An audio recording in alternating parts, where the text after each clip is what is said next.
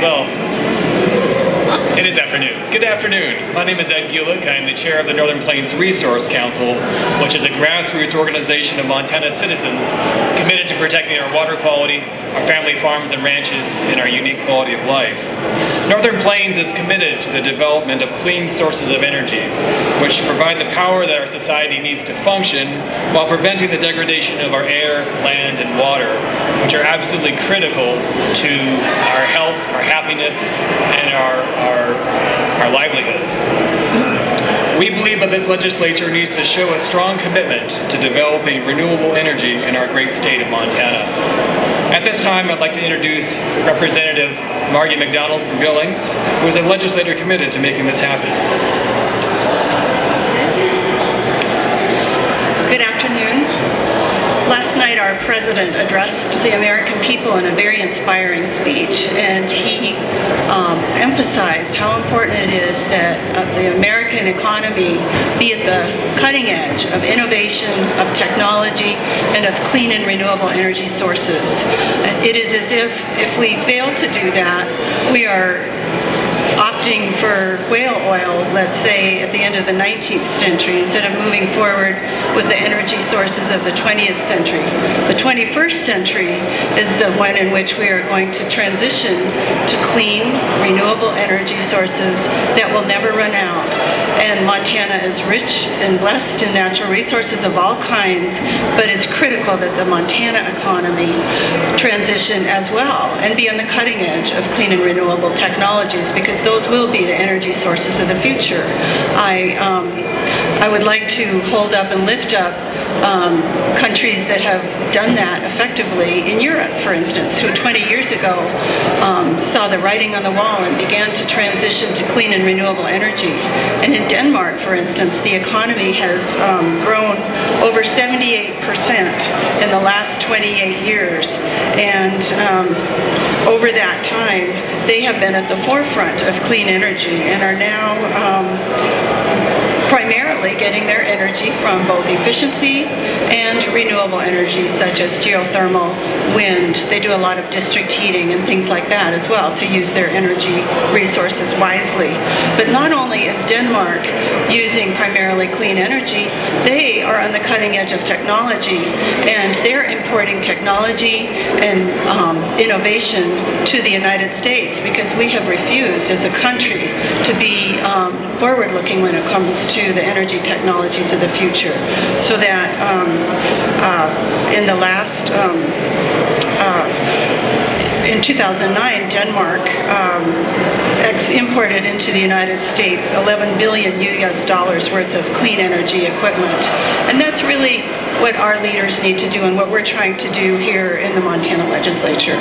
So um, keep working hard and let's let's move Montana into the future with clean and renewable energy that will never run out. Thank you. I would also like to welcome and introduce um, one of the leader, leaders in the Montana House of Representatives who has um, helped uh, guide some of our most innovative energy, uh, clean energy um, bills and strategies. And I'm very proud to have with us today Representative Mike Phillips from Bozeman.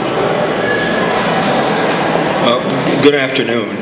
Um, I've had the distinct privilege to serve on the Energy Committee two sessions now, and I can tell you that there are efforts underway to undermine those laws that allow Montana to contribute to an energy future that makes sense. We just heard, for example, a bill that would repeal Montana's wonderfully successful renewable portfolio standard. But we can't repeal that law. If we do anything, we've got to protect it and move it forward you know, as a biologist, I can find you organisms that don't defend themselves, that don't that don't move, that don't reproduce. I can't find any organism that doesn't wake up every morning intending to do one thing: uh, capture and assimilate energy. It, it, it is the great big connective process of life, and it's the great big connective issue of the 21st century. There is no doubt that because energy use is so pervasive, everything we do is driven by energy. Uh, it will be a, a wonderful wellspring of jobs. Uh, people a lot smarter than me that are wildly successful in, in the business arena would have you believe that the new energy future will represent the greatest economic opportunity this country has ever seen. Well, that's all well and good. We need to make money. But increasingly, we also see there is a direct relationship between our energy policies and national security. The, the, the, military is increasingly saying we are putting the, the boots of men and women from this country on the ground in conflict zones because of energy policies. And, and on the 2nd of February, myself and Senator Ryan Zinke have successfully invited Vice Admiral McGinn and Colonel Charette from the United States Marine Corps to come and speak in a public seminar that evening uh, from 7 to 8.30 about this relationship between national security and energy policy. Montana contributes uh, more uh, men and women in military service in conflict zones around the world than any other state in the Union on a per capita basis. Clearly, national security, the safety of our troops, and the energy future for this country are critically important to Montana, and I hope folks will show up for that most important seminar on the 2nd of February. So we're not only talking about jobs that put good money in, in people's pockets, good, durable jobs, but these are jobs that will complement the military's efforts to, to make our troops more energy independent in the field. That's a future that this country should work for. That's a future that Montana can play a major part in. And that's why we have to not only defend our laws today, but move them forward in the future. Thank you.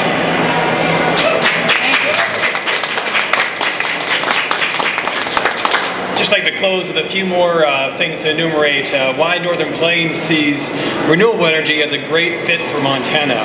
Uh, we imagine you know, wind turbines are sort of like a new crop for our, our farmers and ranchers.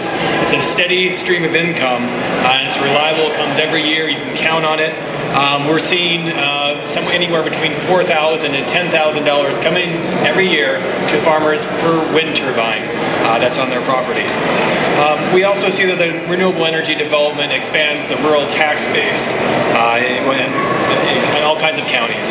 Uh, new wind projects in Glacier and Toole counties, for instance, are expected to contribute $3.6 million to the property tax revenues um, for the, both those counties in 2010. Uh, furthermore, the Judith Gap Wind Farm has contributed $1 million to the, the Wheatland County every year. So this is a, a major source of, of, income to our, to our uh, rural counties, and it's a source of income. Uh, you know, there are other forms of development where the tax base, sure there is money going into the tax base, but it's used to mitigate the harms of other kinds of resource development. With wind development, it's just money in the pocket. There are no sorts of problems with, with, uh, with uh, that they need to be mitigated. Um, renewable energy uh, distributes jobs throughout Montana. You know, the typical 100 megawatt farm, wind farm supports anywhere between 100 and 150 uh, construction jobs and about 10 to 15 permanent jobs. Um, in Judith Gap, uh, for instance, resulted in 12 permanent jobs. Uh, furthermore, in its construction, 75% of, of, the jobs were to local, uh, to Montana contractors. So if we're talking about jobs, uh, clearly, you know, renewable energy is a great winner for us. So how do we continue to nurture and expand the development of renewable energy here in Montana? Well, the Renewable Energy Standard, which was passed in 2005, has been a great vehicle. Uh, you know, we're starting to see a lot of the benefits of wind uh, development that would not have happened uh, if we did not have that Renewable Energy Standard. It provided uh, predictability. Wind, wind developers could come here knowing that there'd be a market for it, uh, and provided stability. So uh, it, it's provided really great value to us. And there was also provision in it for that some local uh, communities would also benefit uh, by having uh, uh, wind development here, and that's really helpful because those are that means small businesses here in Montana are able to profit state and state. So to summarize. Northern Plains believes that the legislature will be working in the best interests of the state's citizens by showing a strong commitment to renewable energy development. Thank you for coming today.